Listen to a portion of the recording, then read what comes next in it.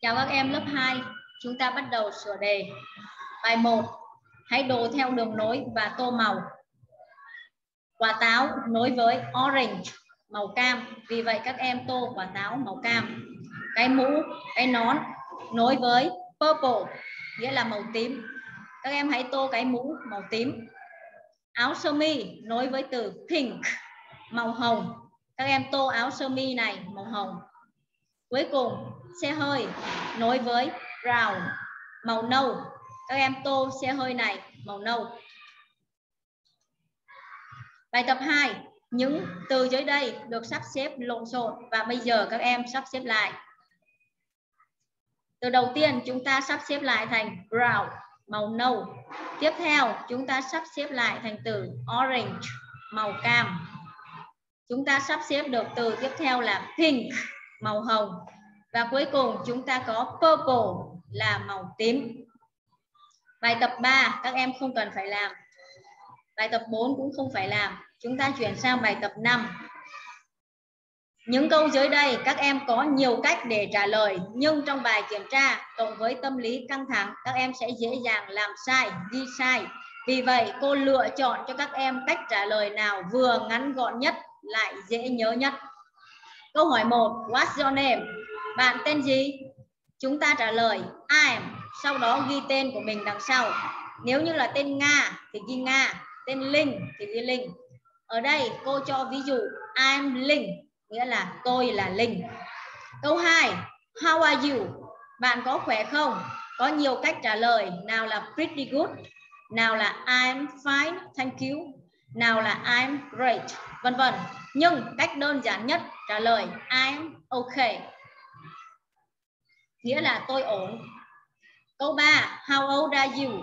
Bạn bao nhiêu tuổi? Các em đa số là 7 tuổi rồi. Các em ghi là I'm seven. Nếu như trong bài kiểm tra, các em cũng quên, không nhớ là từ seven ghi như thế nào, thì các em ghi là I'm rồi sau đó viết số 7 bên cạnh cho cô. Là được. Câu hỏi 4 what color do you like? Bạn thích màu gì? Các em thì người thích màu vàng, người thích màu à, nâu, người thích màu cam.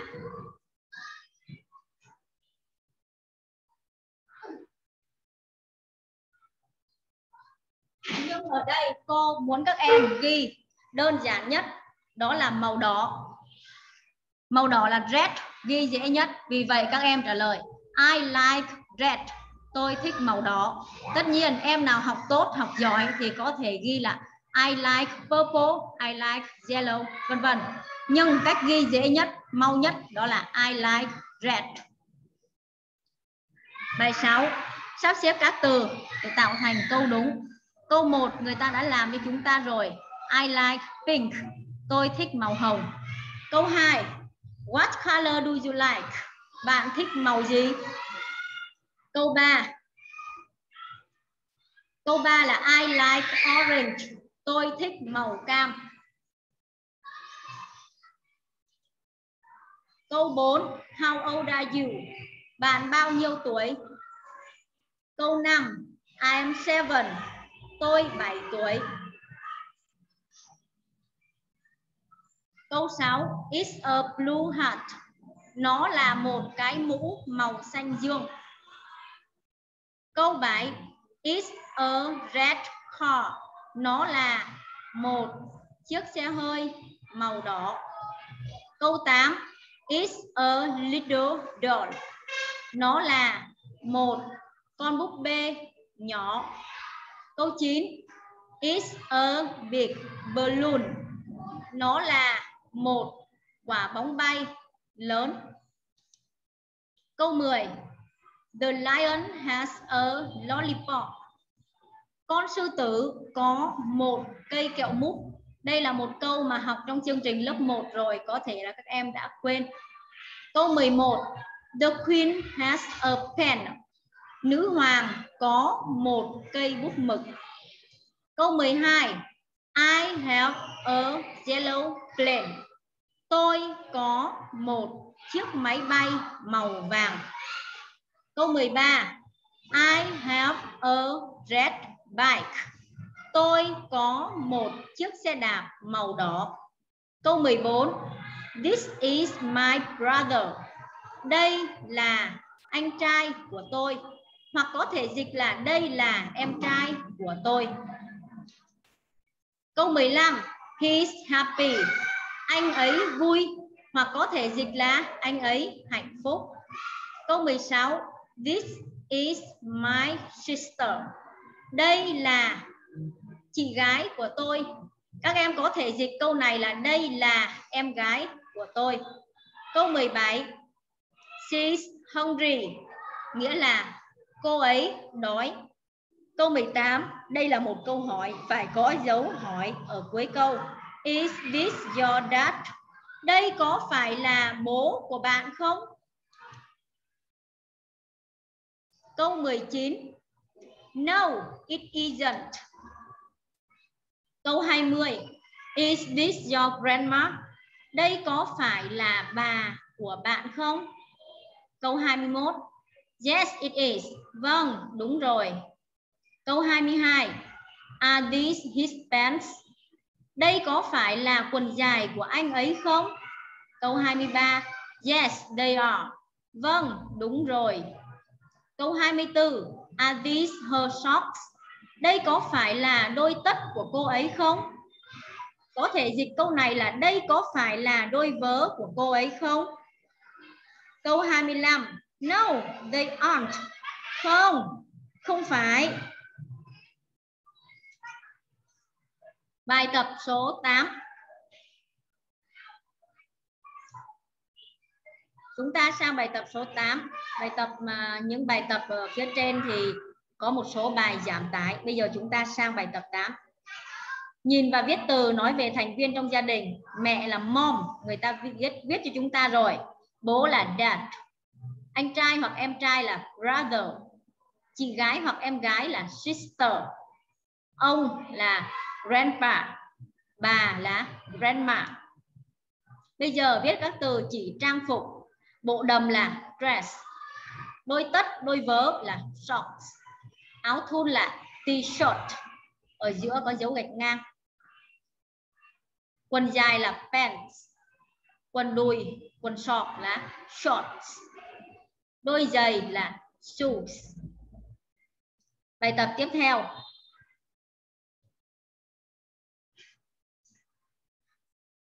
Bức tranh đầu tiên các em thấy một bạn đang cười vui. Bạn này là con gái, cho nên người ta dùng từ she's. She's happy. Cô ấy vui hoặc là cô ấy hạnh phúc. Bức tranh tiếp theo, bạn nam này đang toát mồ hôi lên. Bạn này là nóng. Bạn này là con trai. Người ta dùng từ he's. He's hot. Anh ấy nóng. Bạn nữ tiếp theo, bạn ấy là con gái. Nên người ta ghi câu này bắt đầu bằng từ she's. She's hungry cô ấy đói bức tranh tiếp theo, bạn nam này khát nước. Bạn này con trai cho nên người ta dùng từ he's he's thirsty. Anh ấy khát. Bạn nữ tiếp theo này, bạn ấy đang co mình lại vì lạnh. Bạn này là con gái cho nên chúng ta ghi từ she's ở đầu câu. She's cold. Cô ấy lạnh. Bức tranh cuối cùng này à, bạn nam này nhìn mặt không vui bạn ấy buồn bạn này là con trai nên chúng ta dùng từ he's He's sad. Anh ấy buồn. Bài tập 9 trước hết là các em nối bức hình với tên của thành viên trong gia đình. Số 1 người ta nối với từ grandpa nghĩa là ông. Số 2 chúng ta theo đường nối nối với từ grandma nghĩa là bà. Bức tranh số 3 nối với sister nghĩa là chị gái hoặc là em gái. Bức tranh cuối cùng bức tranh số 4 nối với từ dad nghĩa là bố. Chúng ta tiếp tục làm bài tập 10. Ở bài tập 10 này, nhìn tranh và trả lời câu hỏi. Bức tranh này chúng ta có là Is this your mom? Yes, it is. Bức tranh về người mẹ, người ta đặt câu hỏi Is this your mom? Đây có phải là mẹ của bạn không? Họ trả lời Yes, it is. Vâng, đúng rồi. Bức tranh tiếp theo, người ta hỏi Is this your grandma? Đây có phải là bà của bạn không? đây không phải là bà đây là một em bé tên là Billy vì không phải cho nên chúng ta trả lời no it isn't bức tranh tiếp theo người ta đặt câu hỏi, is this your brother? Đây có phải là anh trai của bạn không? Đây là người bố, chứ không phải là anh trai. Vì vậy, người ta trả lời, no, it isn't. Không không phải. Bức tranh ở dưới, is this your brother? Đây có phải là em trai của bạn không? Đây đúng là người em trai rồi. Chúng ta trả lời, yes, it is vâng đúng rồi. Bức tranh tiếp theo là người ta cho câu hỏi, is this your grandpa? Đây có phải là ông của bạn không? Đúng là ông rồi, chúng ta trả lời, yes, it is. Bức tranh tiếp theo nữa, is this your sister? Đây có phải là chị gái của bạn không? Đúng là người chị rồi, chúng ta trả lời, yes, it is bài tập 11A là bảng chữ cái tiếng Anh. A, B, C. Chúng ta viết tiếp nhé. D E F, G. H, I, J, K, L, M, N, O, P. Q R S. T, U, V. W, X, Y và cuối cùng là người ta ghi cho chúng ta chữ gì. Bài tập 11B đó là chúng ta hãy viết số từ 1 cho đến 20. One là một đúng không? Người ta viết cho chúng ta rồi. Tiếp theo, two, three, four, five, six, seven, eight, nine, ten, eleven, twelve, thirteen, fourteen, fifteen, 16 là sixteen, seventeen, eighteen, nineteen và cuối cùng là twenty hay còn đọc là twenty nghĩa là 20. Bài 12. Đây là tên của các ngày trong tuần và người ta ghi còn thiếu từ. Chúng ta sẽ điền vào các chữ đó để tạo thành từ đúng. Đầu tiên là Monday, thứ hai. Tuesday là thứ ba. Wednesday, thứ tư. Friday là thứ sáu. Sunday là chủ nhật. Thursday là thứ năm. Saturday là thứ bảy. Bài tập số 17 Đọc vào khoanh tròn Bức tranh người bà Nhưng người ta cho câu hỏi Is this your sister? Đây có phải là chị gái của bạn không? Không phải là chị mà là bà Cho nên người ta chọn khoanh tròn No, it isn't Bức tranh tiếp theo Họ cho câu hỏi Is this your mom? Đây có phải là mẹ của bạn không? Đúng là người mẹ rồi Chúng ta khoanh Yes, it is Tiếp theo người ta cho câu Is this your grandma? Đây có phải là bà của bạn không? Đây không phải là người bà mà là người ông. Vì vậy chúng ta phải chọn No, it isn't. Ở dưới người ta cho câu Is this your dad? Đây có phải là bố của bạn không? Đúng là người bố rồi. Chúng ta khoanh Yes, it is. Bên cạnh đó có câu Is this your grandma? Đây có phải là bà của bạn không? Đây không phải là bà mà là người chị. Cho nên chúng ta khoanh No, it isn't. Không, không phải. Cuối cùng, Is this your brother? Đây có phải là anh trai của bạn không? Hoặc là đây có phải là em trai của bạn không? Đây đúng là người em trai rồi. Chúng ta khoanh. Yes, it is. Vâng, đúng rồi. Bài tập 18, nhìn và nối. Con gấu trúc họ đã nối với từ panda. À, con bạch tuộc chúng ta nối với octopus. Con khỉ chúng ta nối với monkey. Con voi nối với elephant. Con ngựa nối với horse. Từ con voi từ con ngựa là từ con cá nữa là các em học hồi lớp 1 nhưng mà có thể nhiều em quên, ha. con chó chúng ta nối với dog và cuối cùng con cá nối với fish. Bài tập 19 nhìn và nối. Nếu thì đúng ạ, thì nối với yes, it is khung phía trên đây. Còn nếu mà sai thì nối với no, it isn't khung phía dưới. đầu tiên là người ta cho câu, is this your mom đây có phải là mẹ của bạn không? Đây là người chị gái chứ không phải là mẹ. Vì vậy là họ nối với no, it isn't.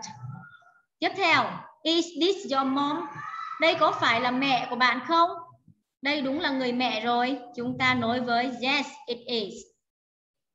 Ở bên dưới là bức tranh. Is this your sister? Đây có phải là chị gái của bạn không? Đây không phải là chị, mà là bà vì vậy là vì không phải nên chúng ta nói với, no, it isn't. Dãy bên kia, có câu, is this your sister? Đây có phải là chị của bạn không? Đây không phải là chị, cho nên chúng ta nói với, yes. Xin lỗi các em, chúng ta nói với, no, it isn't. Nghĩa là không không phải. Ở bên dưới có câu, is this your dad? Đây có phải là bố của bạn không? Đây không phải đây có phải là người bố của bạn không? Đây đúng là bố rồi. Chúng ta nói với, yes, it is. Và câu cuối cùng, is this your grandpa? Đây có phải là ông của bạn không? Đúng là ông rồi. Chúng ta nói với, yes, it is. Bài tập 20 là một bài tập nghe chúng ta được giảm tải, không phải làm. Bài tập số 21 là sắp xếp thứ tự à, 7 ngày trong tuần. Số 1 người ta đã cho Monday là thứ hai tiếp theo là Tuesday là thứ ba tiếp theo là Wednesday là thứ tư. À, rồi đến thứ năm là Thursday thứ sáu là Friday thứ bảy là Saturday và chủ nhật là Sunday. Các em xếp theo thứ tự này từ thứ hai cho đến chủ nhật gồm có 7 ngày trong tuần. Bài tập số 23 hãy khoanh tròn âm đầu. Bức tranh số 1 người ta cho hình ảnh quả trứng. Quả trứng là F bắt đầu bằng à, âm E. Các em khoanh tròn âm E. Bức tranh số 2 là một bạn nam boy. Bắt đầu bằng âm b. Các em khoanh tròn âm b. Bức tranh số 3 là quả vả. Sick, âm f. Các em khoanh tròn âm f bức tranh số 4 là ô tô, xe ô tô, xe hơi. Car, bắt đầu bằng âm k các em khoanh tròn âm k bức tranh số 5 là dog con chó, bắt đầu bằng âm d. Em, các em khoanh tròn chữ d. Bức tranh số 6 là apple, bắt đầu bằng âm a. Các em khoanh bài tập 25 khoanh tròn từ đúng. Trong bài tập 25 này thì người ta in người ta bị in in sai cái từ à, little từ little, bức tranh số 1 là so sánh với chair. Chair có nghĩa là cái ghế tựa các em nhé. Chair là cái ghế. Cái ghế này lớn so với bạn này, cho nên chúng ta phải khoanh tròn. Big nghĩa là lớn. Is a big chair.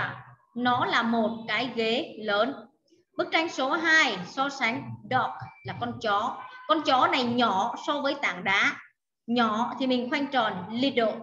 It's a little dog. Nó là một con chó nhỏ. Bức tranh số 3 so sánh, bird là con chim. Con chim thì nó nhỏ so với cái cây này. Vì vậy, người ta khoanh tròn, little. Is a little bird. Nó là một con chim nhỏ. Bức tranh số 4 hat, cái mũ cái mũ này lớn so với bạn nữ này, cho nên người ta khoanh tròn, big. It's a big hat. Nó là một chiếc mũ lớn. Bài tập 26 các em nhìn và viết số. 10 là số 10 12 là số 12 16 là số 16 14 là 14 9 là 9 11 là 11 13 là 13 15 là 15 Bài tập 27 nhìn. Các em hãy đánh dấu tích tức là cái dấu mà giống chữ V á vào chỗ à, cái khung phù hợp. Người ta cho từ thirsty nghĩa là khát. Các em đánh dấu vào chỗ mà cái bạn đang còn khát nước ạ người ta cho từ cold nghĩa là lạnh. Các em đánh dấu vào bạn nữ ở vị trí số 3 bạn ấy đang lạnh và cuối cùng happy nghĩa là vui là hạnh phúc. Các em đánh dấu vào chỗ cái bạn nữ đang cười á. Bài tập 28 đánh dấu giống như chữ V á, vào chỗ mà câu đúng còn đánh dấu mà giống như là chữ X á, đánh dấu chéo á, vào chỗ câu sai. Số 1 she's sad cô ấy buồn. Đây là câu sai bởi vì cô ấy đang cười thì không thể là buồn được. Các em đánh cái dấu chéo vào. Câu số 2 he's hot. Anh ấy nóng.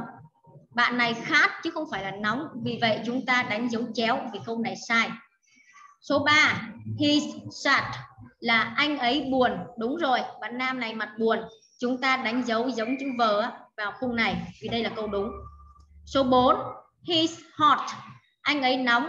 Đúng rồi, bạn này nóng toát mồ hôi rồi này. Chúng ta đánh dấu giống chữ vờ vào số 5 she's cold. Cô ấy lạnh. Đúng là cô ấy lạnh rồi. Cô ấy đang khoanh tay co người vì lạnh. Chúng ta đánh dấu giống chữ V vào. Số 6 she's thirsty. Cô ấy khát. Bạn này không phải là khát mà bạn ấy đói. Câu này câu sai. Chúng ta đánh dấu giống dấu nhân á. Đánh dấu chéo vào đây, vì câu này sai. Các bài tập khác chúng ta được giảm tải. Bây giờ đến bài tập 31 đó là nhìn và nối đầu tiên là socks đôi tất đôi vớ. Các em nối vào đôi vớ. Tiếp theo là từ t-shirt áo thun. Các em nối vào cây áo thun. Shoes là đôi giày. Các em nối vào đôi giày. Shorts là quần đùi quần uh, short. Các em nối vào cái quần đùi. Tiếp theo nữa chúng ta có từ pants nghĩa là quần dài. Các em hãy nối vào quần dài cho cô. Và cuối cùng là dress, nghĩa là cái đầm. Các em nối từ dress vào cái đầm. Bài tập 32 nhìn và đánh dấu tích cho phù hợp. Bức tranh đầu tiên là cái quần dài. Các em đánh dấu vào chỗ pants, nghĩa là quần dài. Bức tranh tiếp theo. Bức tranh tiếp theo là Ừ, cái à, à, là đôi giày. Các em đánh dấu vào chỗ shoes. Bức tranh bên cạnh là socks nghĩa là đôi tất đôi vớ. Và cuối cùng là quần lửng quần đùi quần sọt. Các em đánh dấu vào shorts. Bài tập nghe các em được giảm tải. Bây giờ các em sang bài tập số 34 nhìn và khoanh tròn. Bức tranh một là bạn nữ cho nên các em khoanh tròn từ her her nghĩa là của cô ấy. Are these her socks? Đây có phải là đôi tất hoặc là đôi vớ của cô ấy không?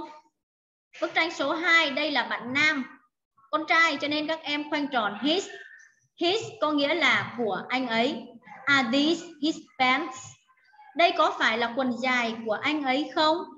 Bức tranh số 3 đây là một bạn nam, con trai, cho nên chúng ta khoanh tròn. His his nghĩa là của anh ấy. Are these his shorts đây có phải là à, quần đùi của anh ấy không? Bức tranh số 4 đây là một bạn nữ là con gái. Các em khoanh tròn. Her. Her nghĩa là của cô ấy. Are these her shoes? Đây có phải là đôi giày của cô ấy không? Bài tập số 35 đọc và viết số. Câu số 1 this is my hat đây là cái mũ của tôi. Các em ghi số 1 vào chỗ cái mũ. Số 2 they are your shorts. Nó là quần đùi của bạn. Số 2 các em ghi vào chỗ cái quần đùi. Số 3 they are my pants. Nó là quần dài của tôi. Số 3 các em điền vào chỗ quần dài. Số 4 this is my dress. Đây là cái đầm của tôi.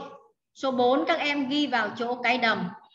Số 5 this is Billy's t-shirt đây là áo thun của Billy. Số 5 các em đánh dấu, các em ghi vào chỗ áo thun. Số 6 their Anna's shoes. Nó là đôi giày của Anna. Các em ghi số 6 vào chỗ đôi giày bài tập 36 cô hướng dẫn cho các em để các em tô màu câu 1 it's a blue and orange t-shirt. Nó là một chiếc áo thun màu xanh dương và màu cam. Chiếc áo thun này các em tô hai màu. Có thể là một nửa thì tô màu xanh dương, một nửa thì tô màu cam. Câu 2, they are brown shoes. Chúng là đôi giày màu nâu. Đôi giày này các em tô màu nâu cho cô. Số 3, it's a purple shirt. Nó là ừ, cái áo sơ mi màu tím. Có từ purple thì các em biết là màu tím rồi. Các em tô cái áo này màu tím. Câu 4, it's a pink dress. Nó là cái đầm màu hồng. Có từ pink thì ngay lập tức chúng ta biết là tô màu hồng. Bài tập 39. Hãy viết những chữ còn thiếu. Chúng ta điền vào để tạo thành những từ cho phù hợp. Cái um, quần đùi là socks. Số 16 là 16. Đàn vĩ cầm tức là violon là violin. Um, số 15 là 15. Cái ô dù là umbrella. Bài tập 40 đọc và viết phép tính cộng. Câu 1 2 cộng 3 bằng 5. Thì các em à, lưu ý cho cô. Đây. Từ plus có nghĩa là cộng. Còn equal, equals nghĩa là bằng. Câu số 2. 4 plus 3 equals 7. 4 cộng với 3 bằng 7 các em ghi số bên cạnh cho cô nhé. Ghi phép tính bên cạnh đây.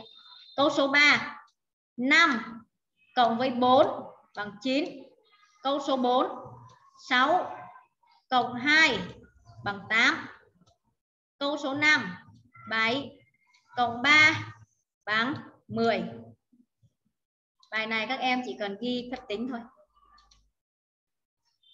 Bài tập 41 hãy nhìn và khoanh tròn. 10 cộng 3 thì bằng 13 Các em khoanh tròn. 13 Tiếp theo 5 cộng 2 thì bằng 7 Khoanh tròn. 7 Ở dưới 4 cộng 5 bằng 9 Khoanh tròn. 9 Và cuối cùng 6 cộng 4 bằng 10 Khoanh tròn. 10 Bài 42 phép tính cộng luôn. Câu 1 7 mà cộng với 6 tức là 7 cộng với 6 thì ra 13 13 ở dưới nữa 9 cộng với 9 thì ra là 18 tức là 9 cộng 9 thì bằng 18 số 3 8 mà cộng với 7 thì bằng 15 tức là 8 cộng 7 thì ra 15 phép tính số 4 4 cộng với 8 thì ra 12 tức là 4 mà cộng với 8 thì bằng 12 Phép tính số 5, 9 mà cộng với 4 thì ra 13. Tức là 9 cộng 4 thì bằng 13. Bài tập 43 cũng là một bài tập mà dạng nó mới đối với các em. Hãy khoanh tròn từ khác loại. Câu số 1, red là màu đỏ, pink là màu hồng, brown là màu nâu. Thì ba cái từ này á, là thuộc dạng là màu sắc. Từ khác loại đó là từ crayon bút sáp màu vì nó thuộc dạng là không phải là màu sắc mà là đồ vật. Đến uh, câu số 2, 4 là 4, 10 là 10, 15 là 15. Đây là ba cái nói về số. Còn cái từ khác loại là từ kite, chiếc diều, nó là đồ vật. Số 3, dress là bộ đầm, shoes là đôi giày, t-shirt là à, áo thun. Đây là ba cái nói về trang phục cái khác loại đó là dog nghĩa là con chó, là động vật. Số 4 lion là sư tử, cat là mèo, tiger là con hổ. Đây là ba từ cùng loại với nhau, đều nói về động vật. Từ khác loại là umbrella, nghĩa là cái ô dù, là cái đồ vật nó khác loại. Số 5 happy là vui, sad là buồn, cold là lạnh, nói về cảm xúc, cảm giác của con người còn là 12 là khác loại vì nó thuộc dạng là số số 6 socks nghĩa là đôi vớ đôi tất. Hat là cái mũ cái nón. Pants nghĩa là quần dài. Đây là ba từ nói về à, quần áo trang phục. Chỉ có từ khác loại là từ sister nghĩa là là, là chị gái em gái. Nó khác loại vì nó nói về thành viên trong gia đình. Số 7 câu số 7 dad là bố mom là mẹ, brother là anh trai hoặc là em trai. Đây là ba từ nói về thành viên trong gia đình. Chỉ có teacher, giáo viên là nó là thuộc dạng là khác loại vì nó nói về nghề nghiệp chứ không phải là về thành viên trong gia đình nữa. Số 8 river là dòng sông, rainbow là cầu vồng, rabbit là con thỏ. Ba từ này đều bắt đầu bằng âm, bằng, đều bắt đầu bằng chữ r. Và từ queen là khác loại vì nó bắt đầu bằng khuẩn.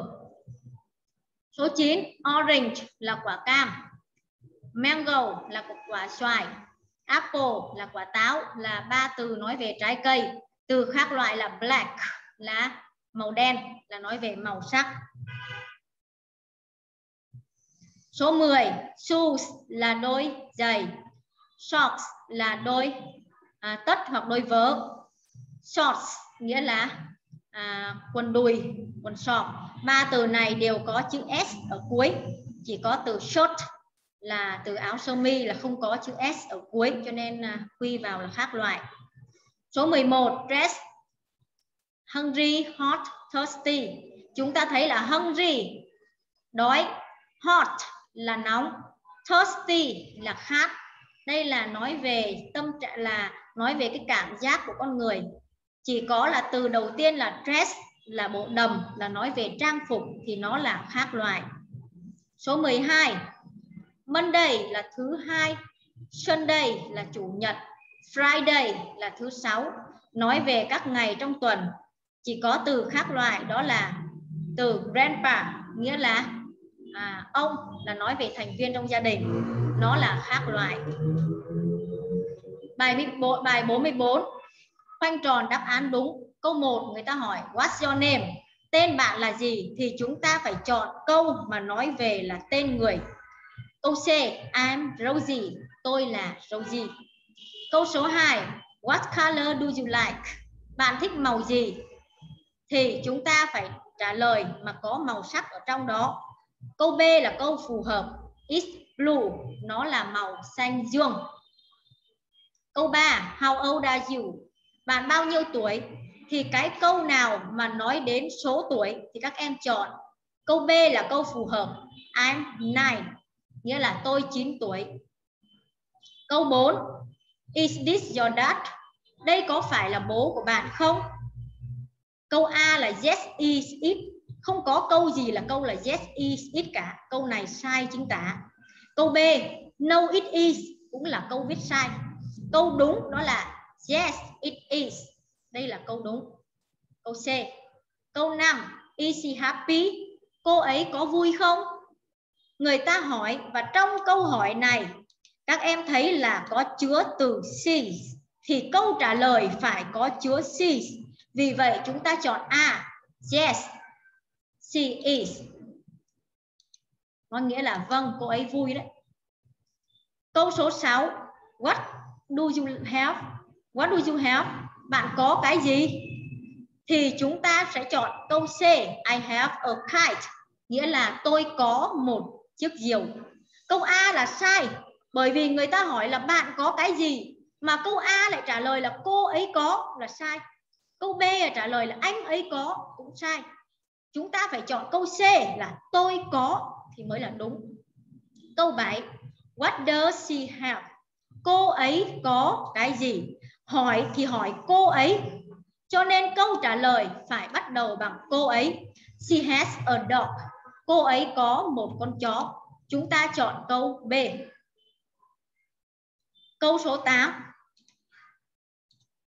Are these his pants? Đây có phải là quần dài của anh ấy không? Người ta hỏi như vậy thì chúng ta trả lời là yes, they are. câu C mới là câu đúng. Câu B thì nó thiếu dấu phẩy. Còn câu A thì trả lời yes, it is là sai. Câu C thì mới đúng với ngữ pháp.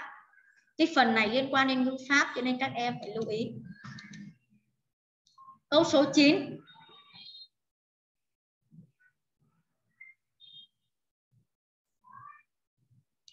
Số 9 là phép tính 12 mà cộng với 8 tức là 12 cộng 8 thì bằng 20. Số 20 chúng ta chưa được học, nhưng đây là một câu nâng cao, người ta vẫn cho vào đây. Chúng ta chọn C 20 là 20. 12 cộng 8 thì bằng 20. Câu 10 is this her dress? Đây có phải là bộ đầm của cô ấy không? Câu hợp ngữ pháp nhất, đó là câu C, no, it isn't. Các em có thể suy luận là trong câu là có chứa là is câu hỏi có chứa is thì câu trả lời cũng phải chứa is. Số 45, bài số 45 hoàn thành câu. Người ta chỉ vào cái quần dài, các em điền từ pants cho cô. Are these her pants? Đây có phải là quần dài của cô ấy không? No, they aren't. Không, không phải. Số 2, người ta chỉ vào cái quần đùi thì các em ghi cho cô là shorts. Are these his shorts? Đây có phải là quần đùi của anh ấy không? Bạn này đang cười nên chúng ta trả lời yes, they are. Vâng, đúng rồi. Bức tranh 3 người ta chỉ vào cái quần dài. Chúng ta điền pants. Are these his pants? Đây có phải là quần dài của anh ấy không? Yes, they are. Câu 4. Cô này đưa lên là à, đôi tất, đôi vớ. Are these her socks? Chúng ta điền socks. Vì đôi tất đôi vớ này quá nhỏ so với bạn này cho nên chúng ta điền no.